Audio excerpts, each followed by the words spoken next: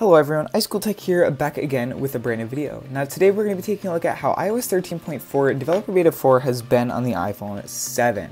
Before we get into today's video, if you happen to be new to the channel, definitely make sure to hit that subscribe button with notifications turned on to stay up to date with all the latest news, announcements, and of course updates from Apple, as well as reviews, tutorials, and more from IceCool Tech. Let's see if we can hit 1,000 subscribers before Apple's WWDC 20 event in June.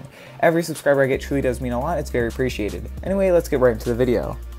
Now I've been running iOS 13.4 Developer Beta 4 on my iPhone 7 for some time now. Now I should probably take a quick second to mention that my iPhone 7 is holding a maximum battery capacity of 96% and has never had a restart. This means that Apple is not throttling my phone, phone's performance to be exact, uh, to preserve battery life and pre prevent restarts. With that out of the way though, let's get straight into general performance.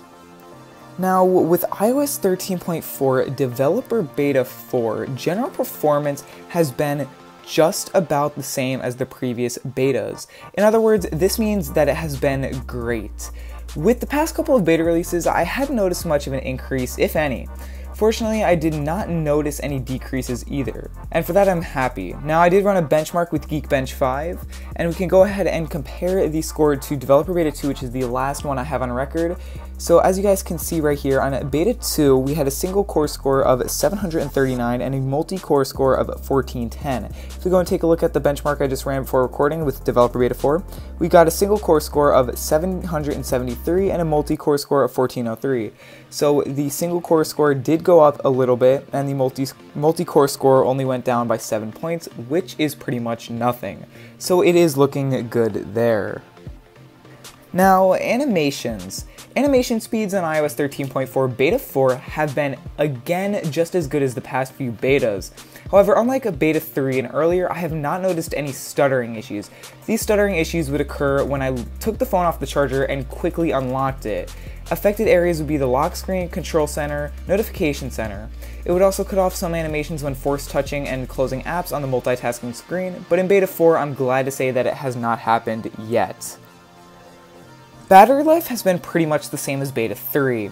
Now just to clarify, again, my iPhone 7 has a maximum battery capacity of 96 and is not being throttled. Now there's a noticeable battery drain when it comes to standby time. It seems to go down by about 7-8% overnight off the charger. You can definitely pull off a full day with light to medium use on iOS 13.4 Beta 4, however, if you are a heavy user, I'd recommend keeping a spare charger with you as you'll most likely end up with critical battery at best by the end of the day. Of course, there are many, many variables that could affect battery life, such as your settings configuration like background app refresh and location services, maximum battery capacity, usage, etc. On screen time has been just fine, and I hope to see an improvement for standby time sometime soon. Overall, and I really cannot stress this enough, iOS 13.4 Beta 4, and all the other betas have been absolutely amazing. Apple is really nailing down those bugs, and it's looking like iOS 13.4 is going to have a great full release later this month. Now with that said, let's cover the main question, should you update? If you're on an earlier version of iOS 13 and you are okay with installing beta software, I'd say go for it. If you'd rather stay away from betas and you're still on an earlier version of iOS 13, I definitely say wait for the full release, about a week after the full release to be exact, so you can you can assure yourself that there are no major bugs found. If you're on iOS 12 or earlier, I'd recommend staying there if you can, as iOS 12 is still more stable and reliable, less buggy, you get better battery life, and probably a better performance than iOS 13. Alright everyone, that's all I have for this video. If you enjoyed the video or found it helpful in any way, show me by leaving a like, and if you are new to the channel, definitely make sure to hit that subscribe button. Every subscriber I get really does mean a lot, and it's very appreciated. Don't forget to check out the IceCool Tech official Discord, link in the description down below as always.